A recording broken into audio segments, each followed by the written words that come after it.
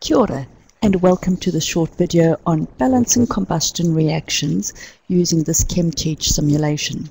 Now in a combustion reaction you need an alkane um, as a fuel. It could be an alkene, any hydrocarbon. So we've got methane. Meth because it's got one carbon, ane because it's got only carbon, hydrogen, single bonds. Now a combustion reaction always has oxygen um, that it has to react with and if it's complete combustion it'll always form carbon dioxide and water.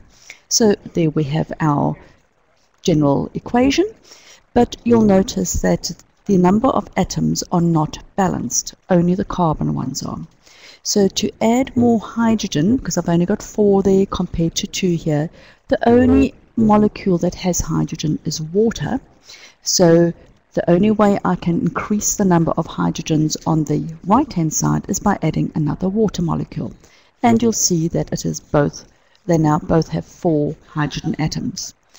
With oxygen, I have four on the right hand side, but only two on the left. So the way I can add more oxygen on the left is by adding another oxygen molecule, which always comes in the form of O2. And now I have a balanced equation. 1 CH4 plus 2 O2 goes to 1 CO2 plus 2 H2O. So let's try this again and we can either use that or we can just simply do a refresh.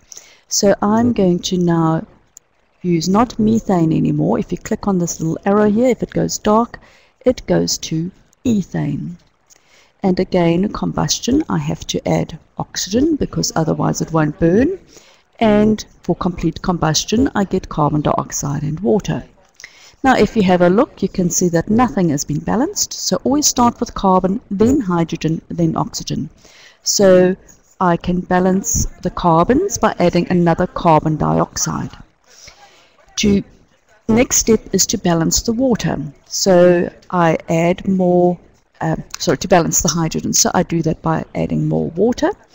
And I now need to add one more to get six hydrogens on each side. If you have a look, you'll see that we now have seven oxygens on the left hand, right hand side. And we cannot get an odd number on the left hand side because the only way we can add oxygen is by adding O2, which is an even number, and there's no other source of oxygen.